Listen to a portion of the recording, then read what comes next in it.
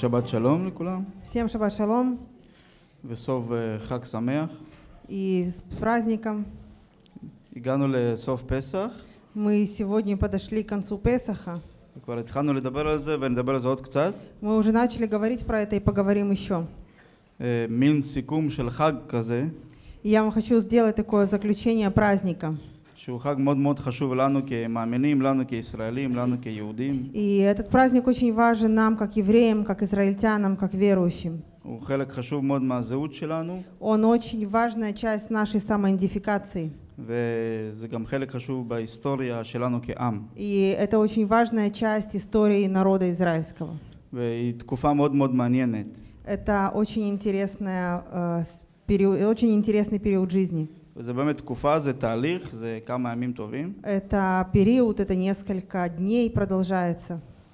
ואלוהים ציווה לנו הרבה מאוד דברים. И Бог заповедал нам делать очень раз- много разных вещей. אז הייתי קצת רוצה להביע את דעתי על, ה, על החג מזווית ראייה שלי.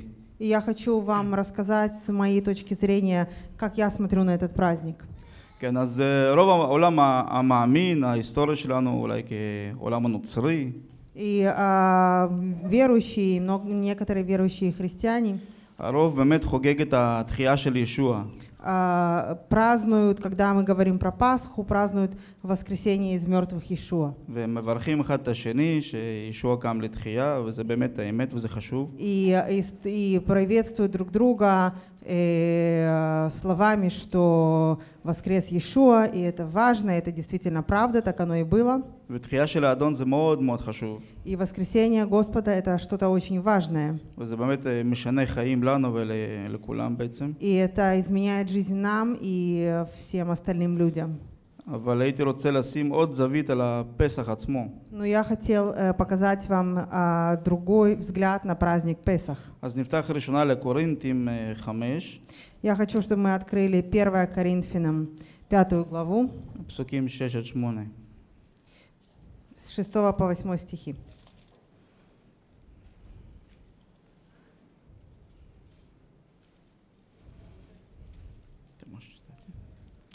Нечем вам хвалиться, разве вы не знаете, что малая закваска квасит все тесто?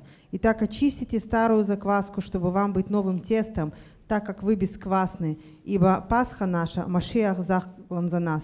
Посему станем праздновать не со старую закваску, не закваску порока и лукавства, но со пресноками чистоты истины. И вы видите, э, как определяет праздник Песах Новый Завет – הפסח שלנו זה בעצם עשה שנזבח. Наша Пасха, наш Песах – это и агнец, который заклан за нас. זה יותר הקורבן מאשר התחייה. Это больше здесь речь ведется про жертву, чем про воскресение. ויש פה גם תהליך של התפטרות מכל החמץ, И здесь э, происходит весь этот, пи- э, весь этот э, период, когда мы очищаемся от хамеца, חמץ פיזי, חמץ גם רוחני, התנקות, יש עד- תהליך מסוים. от духовного и от физического, также от духовного очищения. ואני באמת רואה את פסח כתהליך של כל אחד עובר עם עצמו ועם אלוהים. И я ви- смотрю на Песах как на какой-то определенный период, который каждый проходит с самим собой и с Богом. ואם נקפוץ לשמות 12, И если мы сейчас, спасибо, если мы сейчас откроем исход 12 главу,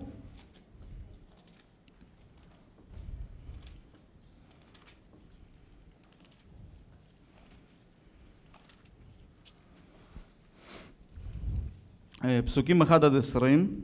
С 1, с первого по двадцатый. כן, אנחנו לא Мы не будем сейчас читать все это. אבל יש בעצם, זה חגיגת הפסח הראשון של ציווי אלוהים במצרים. Но здесь э, э, описывается первое празднование Песаха, который Бог установил по выходе из Египта. אז יש פה כמה נקודות חשובות, אנחנו רק נעבור עליהן. Здесь есть очень э, много важных пунктов, и мы пройдем по ним. אז קודם כל אלוהים אמר שזה החודש הראשון, זה כמו ראש השנה שלכם. Во-первых, э, этот месяц Бог установил первым в еврейском календаре. Это как начало года. הוא אמר תתחילו בהכנות, אני הולך להוציא אתכם ממצרים. Он говорит, начинайте готовиться, я собираюсь вывести вас из Египта. הדיבור שלו הוא מתחיל להיות דיבור אל העם למרות שזה עדיין לא עם. И Бог уже начал говорить с э, людьми, как с народом, хотя они не были отдельным народом. Они все еще были э, кучка рабов. אבל הוא לא מדבר אליהם כ- כאל מהגרי עבודה, הוא כבר מדבר אליהם כאל עם. Но Бог уже не говорит с ними, как с кучкой рабов, Он говорит с ними, как с народом. וזו תקופה של לידה של העם שלנו, שזה מאוד חשוב. И это период начала рождения нашего народа, это очень важный период. והוא מתחיל להביא להם ציוויים מה לעשות, מה לאכול, איך לעשות. И Он начинает говорить им, давать им заповеди, что есть, как есть и когда. אז זה מפתח אצלהם מין תקווה וציפייה של И- משהו טוב הולך לקרות סוף סוף. У них это производит а, ожидание и надежду, что что-то хорошее, скорее всего, произойдет. הוא מת- הוא מדבר אליהם על קורבן של הפסח, שזה תהליך מאוד חשוב. И он говорит про жертву Песаха, и этот э, и период очень важный. כל אחד עם עצמו היה צריך לנקות, אה, לנקות ולהכין את המשפחה, Каждый из них должен был очиститься сам и очистить свою семью. וגם תוך כדי האכילה הם עשו הכל בחיפזון, תוך כדי שהם מוכנים לצד הבא. И когда, пока они ели, они уже были готовы к следующему шагу. ויש פה גם תהליך של חזרה בתשובה, של חשיבה. Есть также, э, как талик, скажите мне другое Процесс. слово. Процесс. Здесь э, процесс э, покаяния и как они каялись. והם הולכים לצאת אל תוך משהו שהוא לא נודע, אף אחד לא יודע מה יהיה. И а, они про- э, и, м, э, пошли навстречу тому, что не знали. וזה כבר בעצם התהליך של החדש של אמונה, משהו שלפני זה אולי לא היה קיים. И это процесс обновления веры, которая раньше не существовала. בא אליהם בן אדם, או שהם התגלות מסוימת, ואמרו בו, הם צריכים להאמין שיהיה בסדר. И пришел какой-то человек, э, сказал, «Пой- идите за мной, они должны верить, что все будет в порядке. ולדעתי לכן זה לקח כל כך הרבה זמן, כי הם היו צריכים לעבור תהליך, כי אם, אם זה היה קורה תוך יום אחד, הם לא היו יוצאים משם. И я думаю, что это взяло время, потому что они должны были пройти этот процесс. За один день никто бы не, не- это не сделал. הם היו צריכים לראות דברים, הם צריכים להבין מה הזהות שלהם באלוהים שלהם. А они должны были увидеть разные вещи и понять, какая их самоидентификация с их Богом. И Бог открылся им новым именем, и все это было у них новое.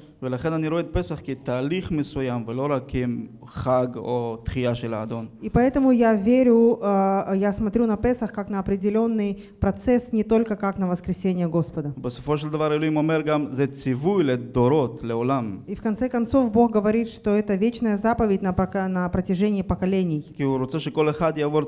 כי הוא רוצה שכל אחד יעבור תהליך מסוים איתו. Потому что ка- Он хочет, чтобы каждый прошел с ним определенный процесс. כי אם זה היה קורה הרבה יותר מהר, ואלוהים אומר לשחוט את השה ולשים את הדם, если, если бы это было быстро, то Бог бы сказал э, убить э, Агнца и помазать косяки его кровью.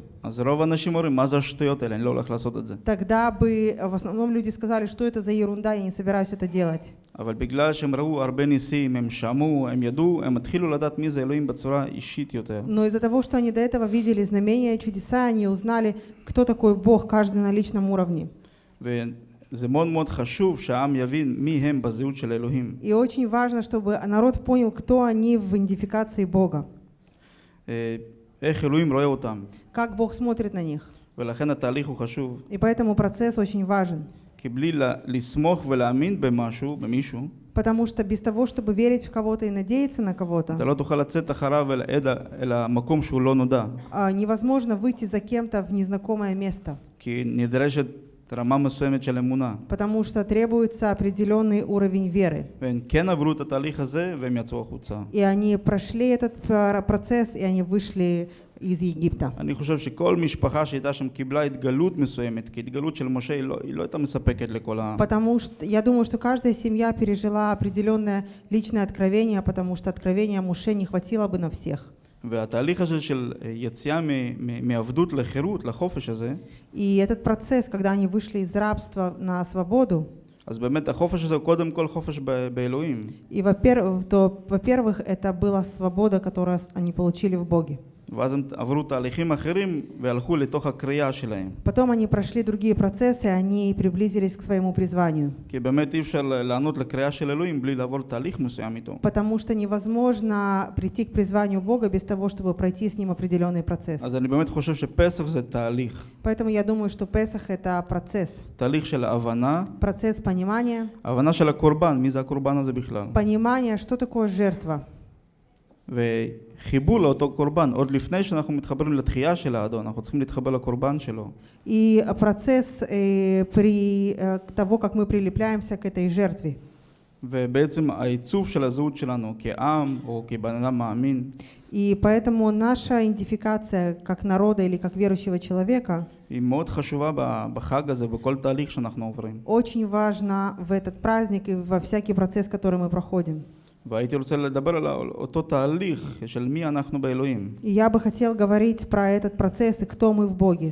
אז הייתי רוצה לתת דוגמה משלושת המשלים, משלוש משלים מספר לוקאס. И я хочу дать пример из трех притч Иешуа из книги Луки. הראשון שבהם זה לוקאס 15. Первое – это Лука, 15 глава.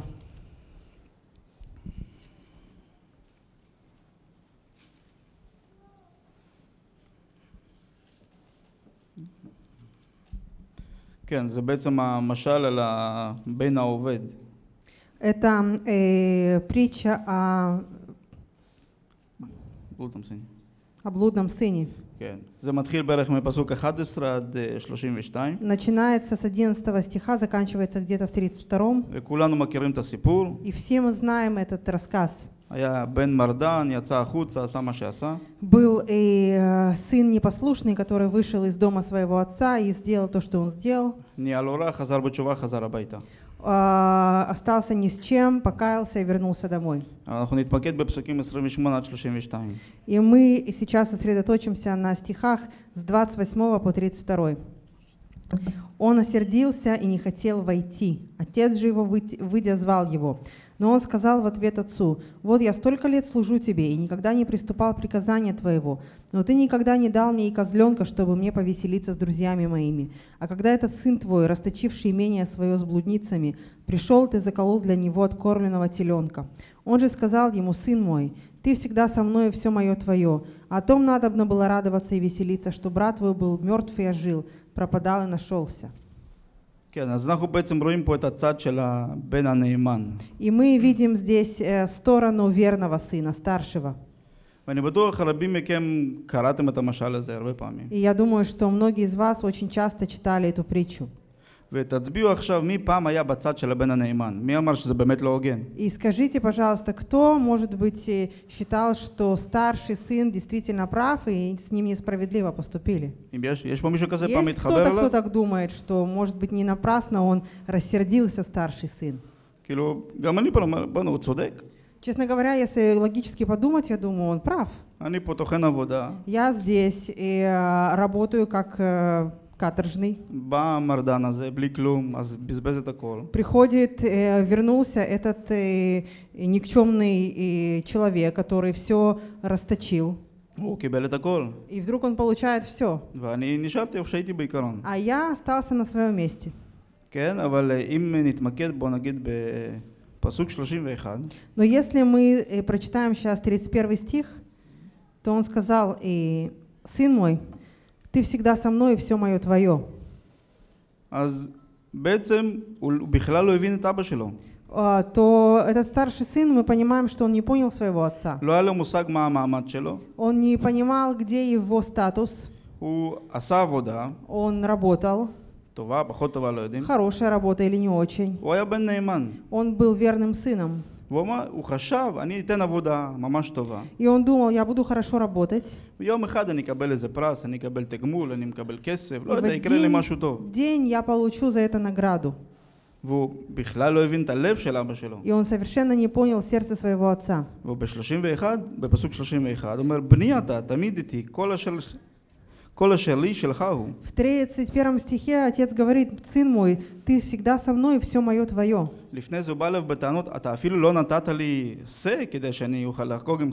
Потому что до этого сын пришел к, с такой претензией к отцу, что ты даже не дал мне козленка, чтобы повеселиться с моими друзьями.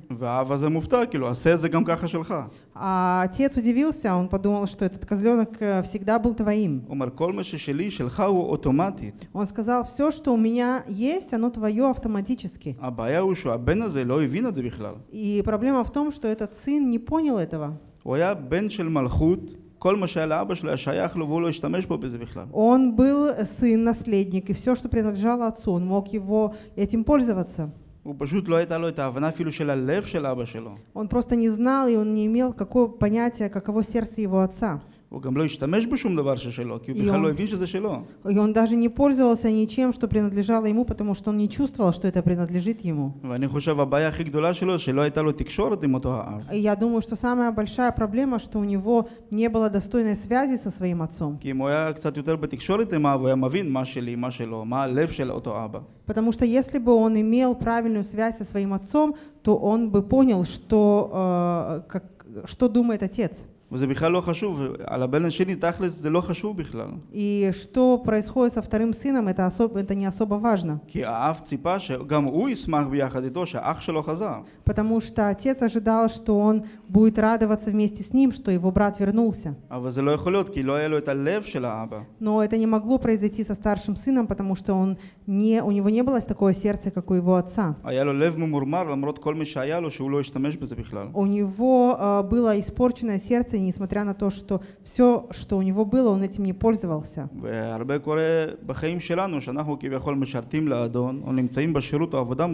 И часто происходит в нашей жизни, когда мы находимся на служении Богу.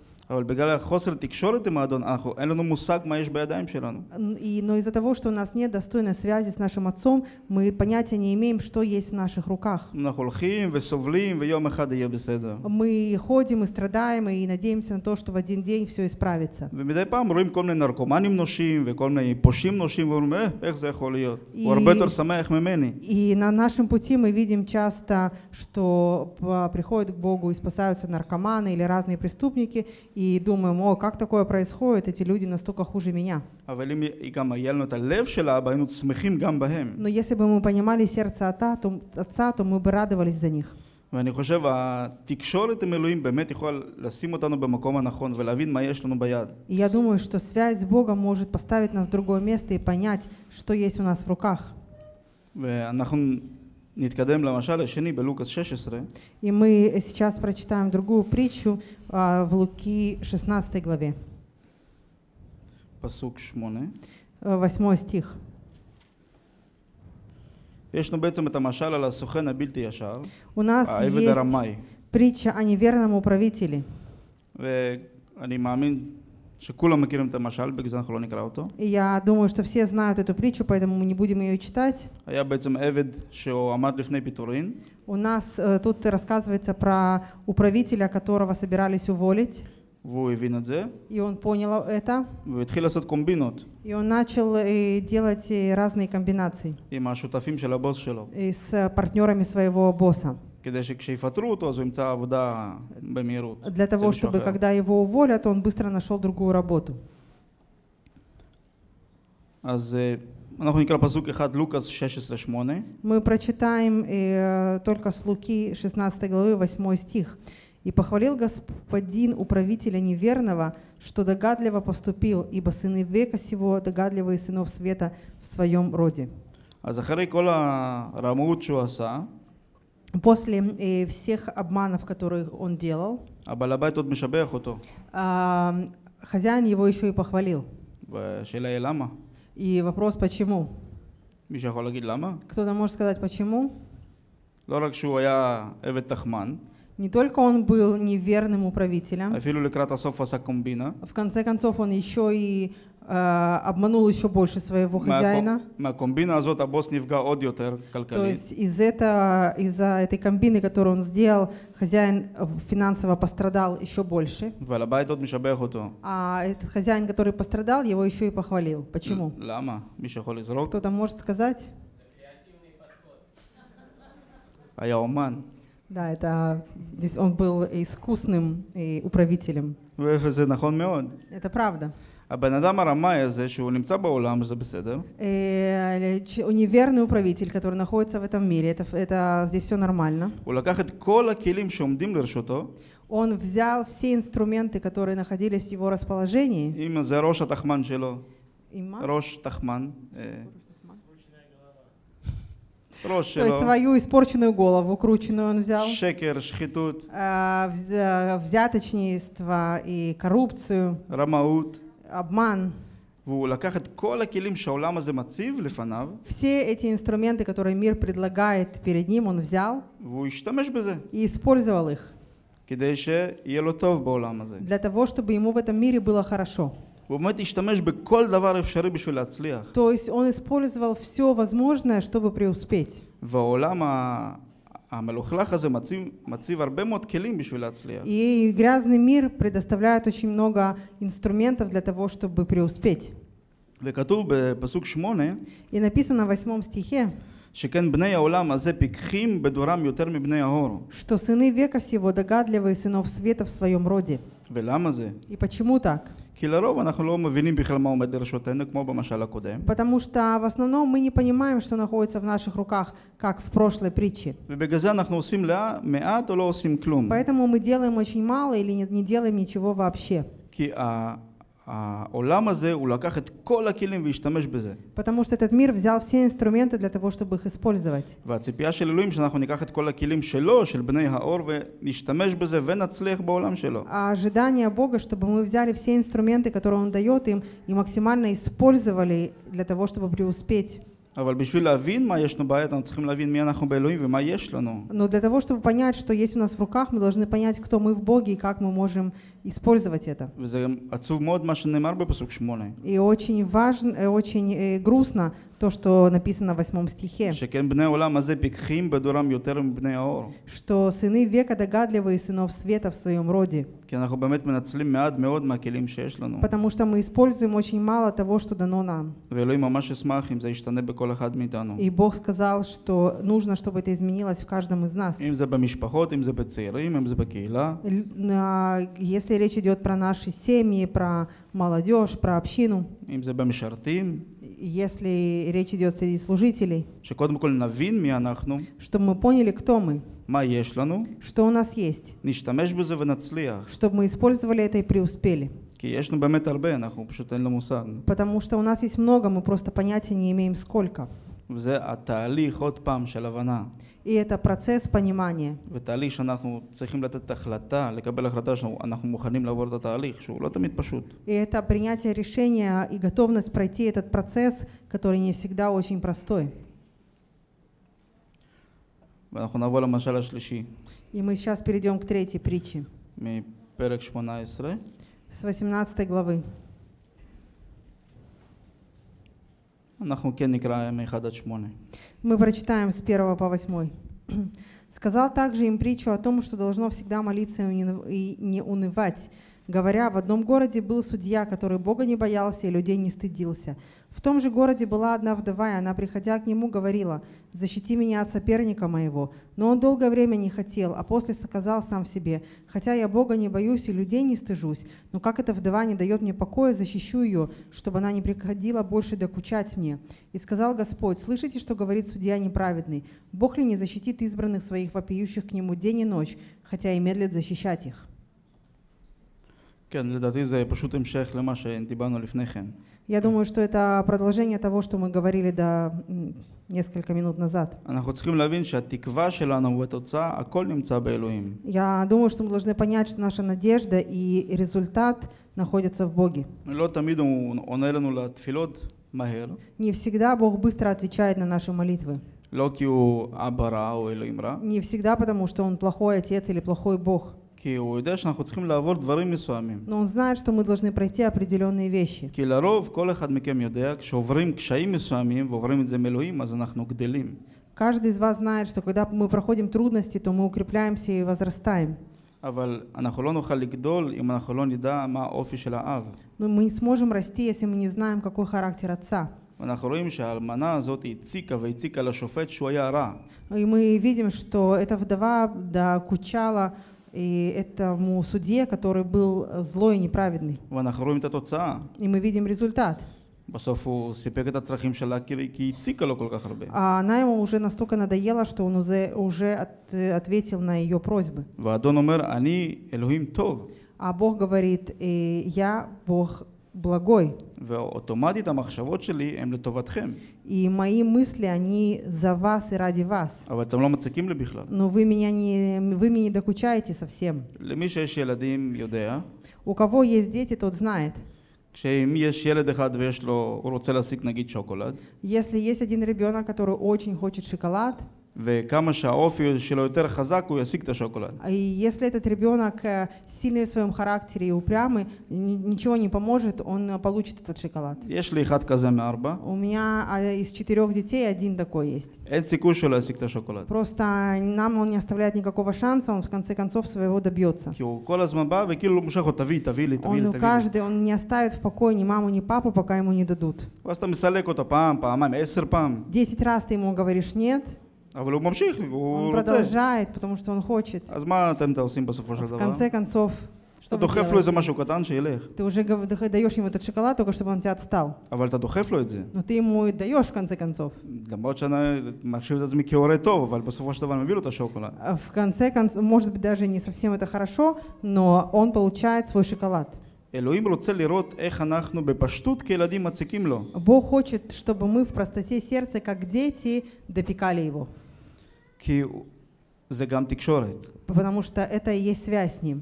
אבל העיקרון התנ"כי, אנחנו צריכים להבין שיש עיקרון בכתובים. Э, Но то, что нам нужно понять, что в Писаниях есть принцип. חפשו ותמצאו, Ищите и найдете. כן? תקבלו החלטות, תראו תוצאות. примите решение, увидите результат. Если вы будете стучать долго и сильно, вам откроют. ואם תמשיכו להתפלל, תראו תוצאה. И если вы продолжите молиться, вы увидите результат. כי זה האופי של האדון. Потому что это характер Бога. הוא רוצה שנציק לו. Он хочет, чтобы мы доставали его. הוא רוצה שנגיד לו כל היום, נמשוך אותו ב- ב- בחולצה שלו, תביא לי, Он תביא לי. хочет, чтобы каждый день мы дергали за его рубашку и говорили «дай, дай, дай, дай». לא כדי שנהפוך למעצבנים, אלא שנהפוך את היחסים שלנו איתו חיה. מערכת ח- יחסים חיה. Чтобы у нас были отношения, и живые отношения с Богом. ושנדע לדרוש אותו. И чтобы мы и знали требовать его. כי יש עיקרון שאומר, המלכות נלקחת על ידי כוח. Потому что есть место Писания, где написано, что Царство Небесное силой берется. וכשאנחנו מציקים לו, כשאנחנו דורשים אותו, אנחנו עוברים תהליך. И когда мы требуем его, и когда мы ищем его, то мы проходим процесс. И когда мы начинаем доставать его, требовать и искать, и тогда проходит какой-то период, мы может, даже понимаем, что мы не нуждаемся в том, что мы просили. Возможно, мы понимаем, что нам, для нас это нехорошо. А если он а, моментально ответит на нас, нашу молитву, אז זה היה יותר незек מתועלת. то иногда часто это может принести вред, чем пользу. ואלוהים לא כמו כמונו ההורים, רק שתלך כבר, И Бог не такой, как мы родители, ой, возьми, только уже отстань от меня. הוא משקיע בתהליך. Он э, вкладывает в процесс. כי מה שקורה בתהליך זה מה שחשוב, לאו דווקא תוצאה. И то, что важно, это процесс, не обязательно результат. התוצאה יכולה להיות מאוד שונה ממה שדמיינו, А результат может быть другим, не такой, как мы его представляли. אבל האוצר שאנחנו נמצא בתהליך עצמו, שם התשובה בכלל. Но, как, но сам процесс, в, то- в- в самом процессе есть ответы. אבל אם לא נציק, לא נדרוש, אנחנו גם לא, לא נדע. Но если мы не будем э, доставать его, мы не узнаем этого никогда. וגם אלוהים אומר, תפתחו את הלבבות שלכם לפניי. И Бог говорит, откройте свои сердца передо мной. למה זה כל כך חשוב, הקרבה הזאת? Почему очень, важ, очень важна эта близость? כי הוא אבא טוב, לרוב Потому что он э, отец и благой, как он себя называет, не как наши родители.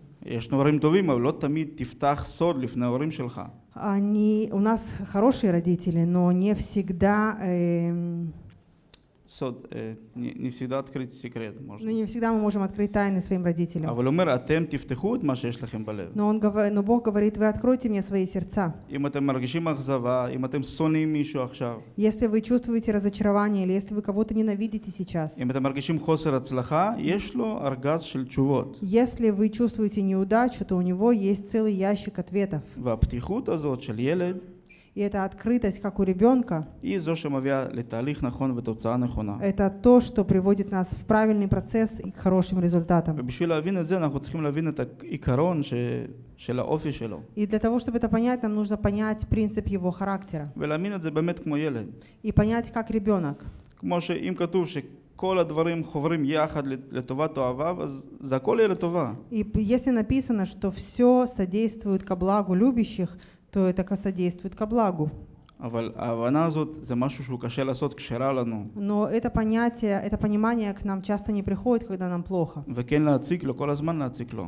И э, доставать его постоянно, так это доставать. כי כתוב שהוא רוצה שנציק לו. Потому что так написано, Бог хочет, чтобы мы постоянно его искали. גם אם אנחנו נראים מטומטמים ובכלל לא מבין מה אנחנו עושים, Даже когда мы выглядим глупыми и не понимающими, что происходит. הוא אומר זה לא חשוב בכלל, תעשה את מה שאתה יודע, אני אשלים את השאר. Он говорит, неважно, делай то, что ты умеешь и знаешь, остальное я восполню. כי לפעמים כשאנחנו נמצאים במצבים קשים אנחנו ממש כמו עם הפרצוף בתוך שלולית. Когда мы находимся в трудных ситуациях, иногда мы чувствуем себя, как будто мы лежим лицом в луже. אז אנחנו ממשיכים לשכב בשלולית הזאת И שנה, мы שנתיים, продолжаем лежать в этой луже год и два. ואלוהים עומד ליד, и Бог стоит рядом. И у него корона в руке. И он хочет эту корону одеть вам на голову. Но мы заняты слишком для этого, мы лежим в луже. Но для того, чтобы встать из этой лужи, нам нужно принять решение и пройти процесс.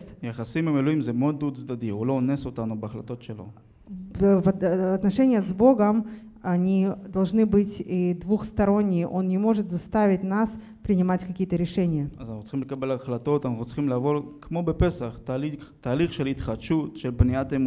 Как на Песах нам нужно пройти, и, пройти процесс принятия решений и обновления в нашей вере.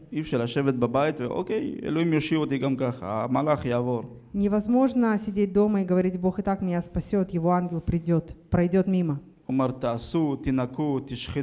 Он говорит, сделайте, очистите и э, принесите эту жертву. Он ожидает, чтобы мы постоянно были активными. Как написано в Откровении, самое опасное состояние – это состояние быть теплым. ואנחנו נהיים פושרים כי אנחנו מפסיקים לזוז. А мы теплые, когда мы прекращаем двигаться. ואם אנחנו מפסיקים לזוז, זה, אנחנו בחיים בשקל, זה, כי זה נגד עקרון של И הכתובים. когда мы прекращаем двигаться, то наша жизнь противоречит принципам Писания. אז החיים שלנו די בנויים מתהליך, וגם פסח עצמו בנוי מתהליך שהוא עכשיו נגמר. Наша жизнь составлена из процессов. И сам Песах – это тоже процесс, который скоро завершается. ולכן כשיש תהליך, אז אלוהים נותן את ההתגלויות שלו. Поэтому, когда есть процесс, Бог дает свои откровения. וכן, אנחנו נקרא תהילים 90 ברוסית, פסוק ראשון. Мы сейчас прочитаем на русском, на русском языке, это 90-й псалом.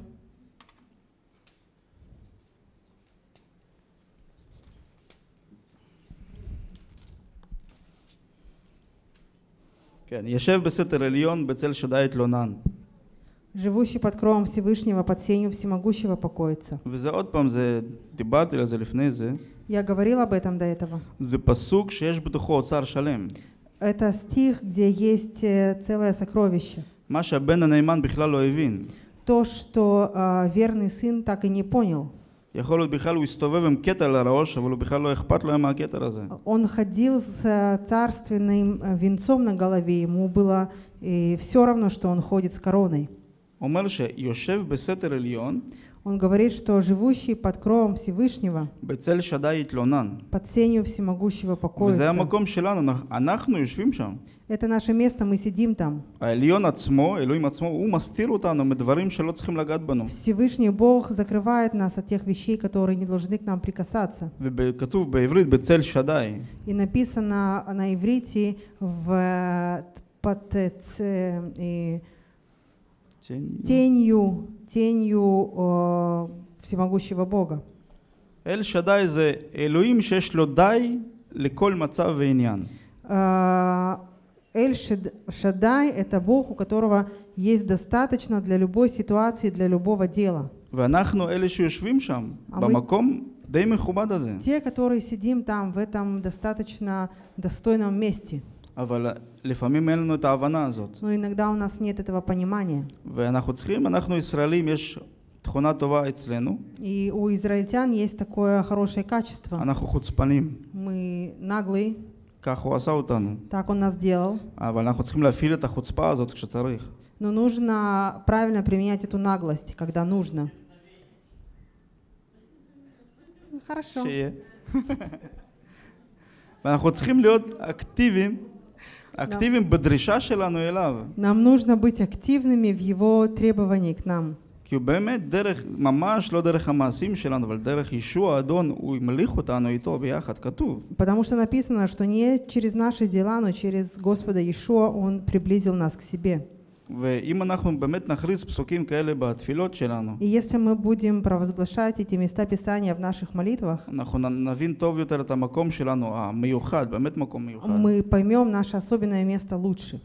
אבל לא בשביל לשבת בבגדי מלך על כיסא, אלא באמת בשביל לעשות את העבודה שלו עם כל הכלים שהוא נתן לנו. Не для того, чтобы сидеть на царственном троне в царственной одежде, но для того, чтобы со всеми его инструментами делать его работу. אנחנו רואים בספר התגלות ש-24 זקנים הם זו- זורקים את הכתרים שלהם ומשתחווים לאדון. Мы видим в книге Откровения, что 24 цар, э, старца и бросают свои короны и поклоняются перед Богом. והמעמד של אותם זקנים הוא מעמד גבוה. И, э, и положение этих старцев, оно очень высокое. והם זורקים את הכתר ב- בזמן הנכון, במקום הנכון. И они бросают свои короны в правильное, место, в правильное время, в правильном месте. כי הם מבינים מי עומד מעליהם. Потому что они понимают, ш- кто, стоят, пе- кто стоит перед ним. אבל יחד עם זאת, הם קיבלו את הכתר. Но вместе с этим они сначала получили эту корону. הם מבינים את המעמד, את האחריות, את אני- העבודה. Понимают свой статус, свою ответственность и свою работу. מה שלצערי הרבה פעמים אנחנו לא מבינים. То, что, к сожалению, часто мы не понимаем. ואנחנו ממשיכים לשכב בשלולית כזאת. אומרים, אם אני היא- במדבר רוחני. Продолжаем э, лежать лицом в этой луже и говорить, что мы в духовной пустыне. אבל אנחנו צריכים להכריז את ה- את הדבר. Но нам нужно провозглашать это слово. ודרך ישוע, לא, כמו שכתוב, תרחם עלינו לא על פי מעשים שלנו, אבל באמת דרך ישוע, דרך הרחמים И שלך. как написано через Иешуа, не через наши дела. אבל דרך ישוע הוא רוצה להמליך אותנו. Через Иешуа Он хочет сделать нас царями. ואני מקווה שבאמת נתחיל אה, לעבור תהליכים כאלה של, של חשיבה, של הבנה מי אנחנו בו. И я надеюсь, что мы будем проходить эти процессы понимания, кто мы, для чего мы здесь. ופסח זה באמת אה, תקופה חשובה מאוד לנו כעם, כי זה באמת לידה של עם. И Песах это важное, и важный процесс для нашего народа, потому что это рождение нашего народа. כמה אלוהים מוכן לעשות בשבילם, להקריב, לתת, אבל גם מחכה לתשובה. Бог готов сделать для нас много и пожертвовать многим, но Он ждет ответа. אז אני באמת מקווה שזה חומר למחשבה קצת. И Я надеюсь, что для вас это будет каким-то материалом, над которым вы сможете раз- размышлять. ל- לכולן. Для всех לכולנו. нас. Amén.